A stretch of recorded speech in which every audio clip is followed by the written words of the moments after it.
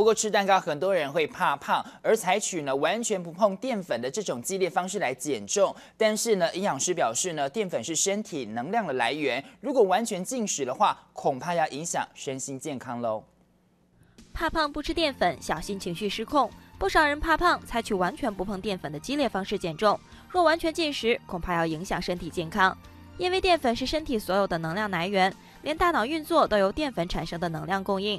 此外，淀粉还能帮助大脑的色氨酸代谢。一旦少吃或者不吃淀粉，容易造成情绪管控不佳。所以，减肥不吃淀粉的人，情绪管控会较不稳定。值得注意的是，食物热量吸收其实跟体质有关。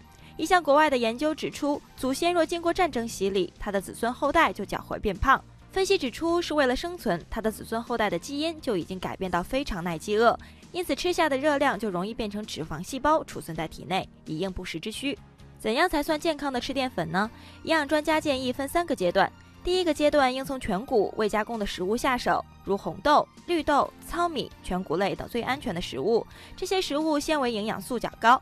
第二个阶段是经过加工，但是只去壳留下可食用的核仁，如米去壳后的精致白米或绿豆蒜、白面粉等，只剩下里面的核仁，这些食物也可以食用，只是营养成分较少。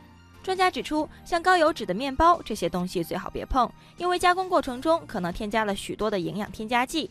建议选择天然未加工的淀粉，才能健康的饮食，没有负担。